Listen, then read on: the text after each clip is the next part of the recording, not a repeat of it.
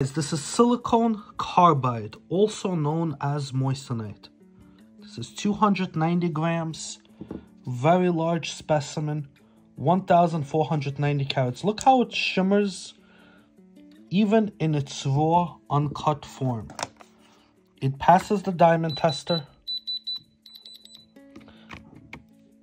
And I'll tell you how it goes from this to a beautiful stone like this and then to nice jewelry. So the same as diamonds in nature need a lot of pressure and high heat to crystallize and become clear, the same thing is true for silicon carbide.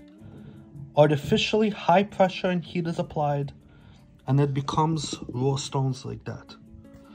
Then at Harlem Bling, we have our expert jewelers handcraft beautiful pieces of jewelry that you guys can get for the best prices.